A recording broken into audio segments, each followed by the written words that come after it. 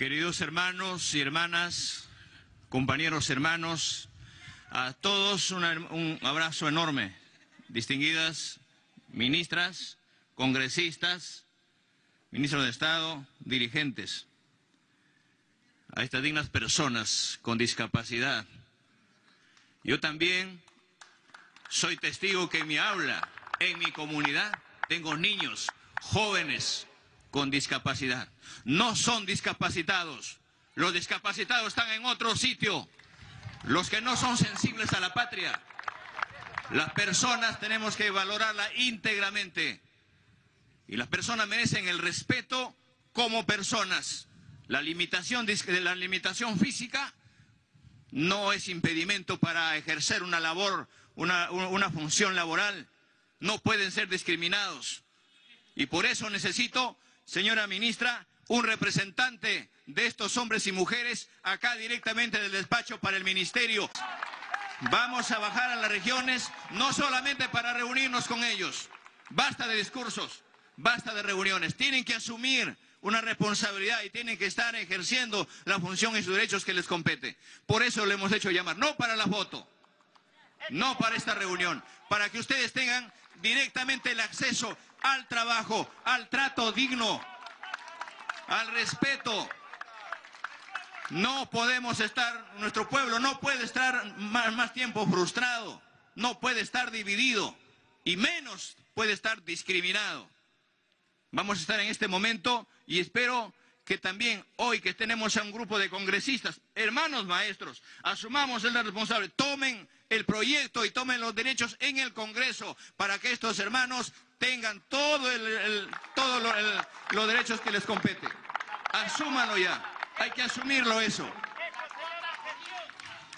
Queridos hermanos, compañeros, cuando nosotros enarbolamos una lucha por un derecho constitucional, que fue reclamar los derechos no solamente de los maestros en el 2017, sino un derecho constitucional que es la, educación de nuestro pueblo, como consecuencia de ello, tuvimos 11 maestros que hoy en día están en silla de ruedas, producto de una lucha.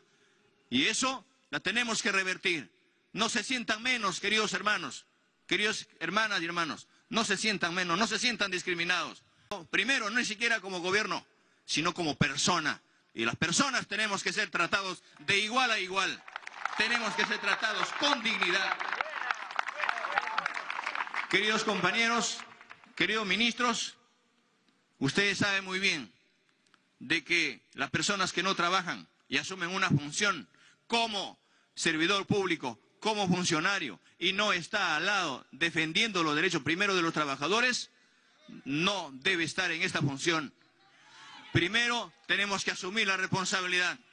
¿De qué sirve, de qué sirve tener lleno el bolsillo si tienes vacío el corazón? ¿De qué sirve tener lleno el bolsillo si tienes vacío la cabeza? Por eso creemos importante, si hay que corregir el CONADIS, la corregiremos. Si hay que corregir algunas cosas, tenemos que corregirla. Y creemos que el CONADIS y este esté de pantalla en las provincias y en las regiones tiene que empezar a trabajar y reconocer a todas las personas con discapacidad. Pero hay que entender que hoy estamos en este momento de la pandemia. Muchos dicen, este gobierno no está haciendo nada. Este gobierno no tiene ningún logro. Así nos están diciendo. Lo primero que hemos dicho hacer acá es garantizar primero la salud de los peruanos. Y sé que ustedes, muchos de ustedes, ya se han vacunado, ¿o no? Todavía no. Creemos importante, hoy mismo converso, conversamos con el ministro de Salud para que esto también llegue a todos los rincones del país, para que la vacuna tiene que garantizarse para todos los peruanos.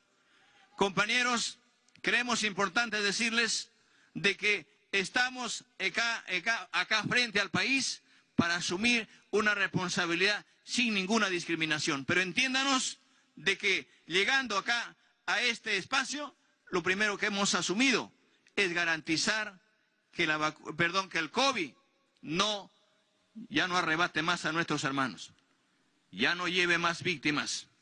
Miren cuántos compañeros hermanos hemos perdido, cuántas familias hoy han quedado en la orfandad. Yo quisiera saludar y expresar mi reconocimiento a las familias de cada uno de ustedes, de ese corazón grande que tienen que estar atendiendo a, nuestros hermanos. Así somos los hermanos, somos solidarios.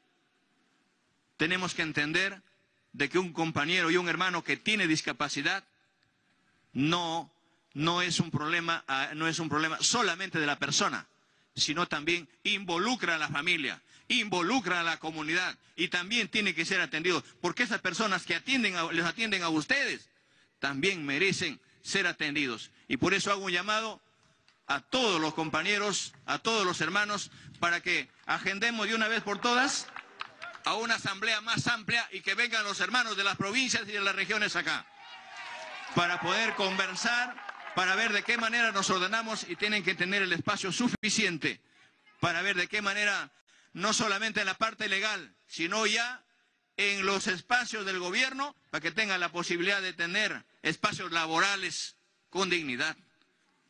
Porque a veces vemos, no, ven a trabajar, pero la mandan al sótano ven a trabajar, pero la mandas en un rincón.